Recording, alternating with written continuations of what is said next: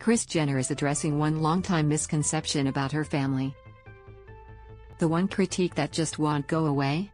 The idea that the Kardashians are famous simply for being famous and have no real talent.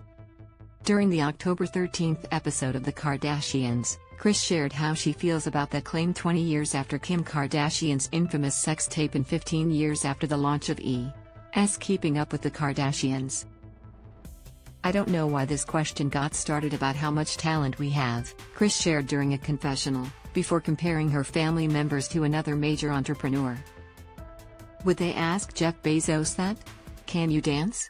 Can you sing?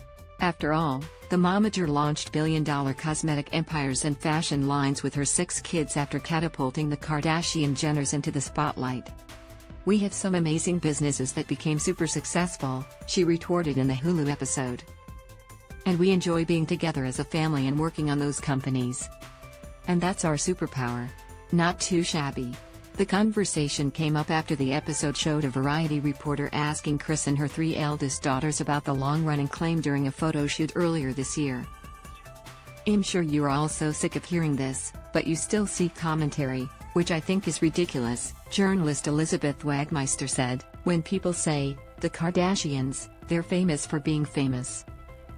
Kris noted that the perception has changed a lot over the last few years, Kim also addressed the commentary directly. Who gives FK? The Skims founder remarked in the published article. We focus on the positive. We work our asses off. If that's what you think, then sorry. We just don't have the energy for that. We don't have to sing or dance or act, we get to live our lives, and hey, we made it. I don't know what to tell you.